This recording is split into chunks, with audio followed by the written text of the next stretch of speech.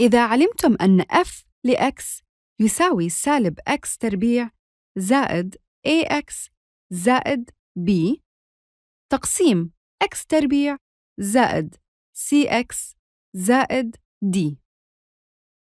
A b c و d حدود ثابتة غير معروفة.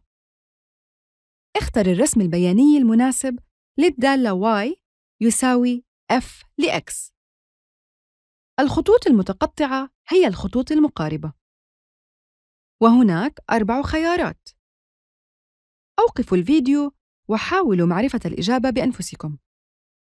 حاولوا إيجاد الخطوط المقاربة الأفقية.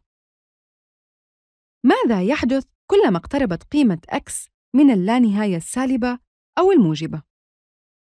f لx يساوي الحدود الأعلى درجة التي يعتمد عليها الناتج.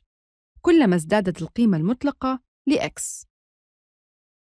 هذا يعني أن f لx يساوي تقريباً سالب x تربيع تقسيم x تربيع ويساوي سالب واحد.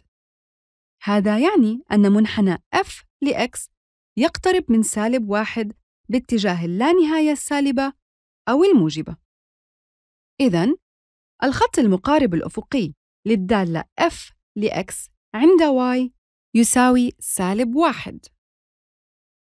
أي الخيارات الأربعة يكون فيها الخط المقارب الأفقي عند سالب واحد؟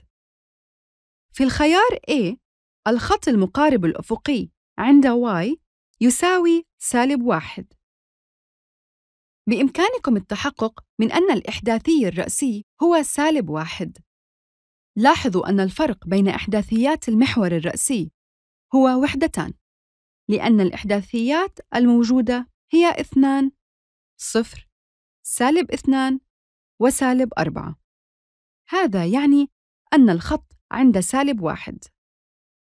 إذن A هو الخيار الصحيح. في الخيار B الخط المقارب الأفقي عند y يساوي موجب اثنان. إذن الخيار B ليس الجواب الصحيح. أما في الخيار C الخط المقارب الأفقي عند y يساوي صفر لأن المنحنى يقترب من المحور الأفقي من الأعلى والأسفل.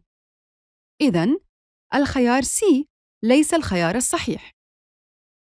كذلك في الخيار D الخط المقارب الأفقي ليس عند y يساوي سالب واحد وإنما عند y يساوي صفر. إذن الخيار D أيضاً ليس الجواب الصحيح. هذا يعني أن الخيار الصحيح هو A.